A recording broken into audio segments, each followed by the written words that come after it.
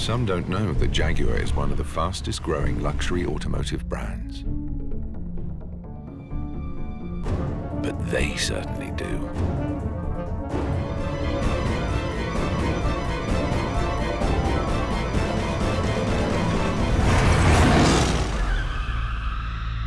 The XF from Jaguar. Oh, it's good to be bad.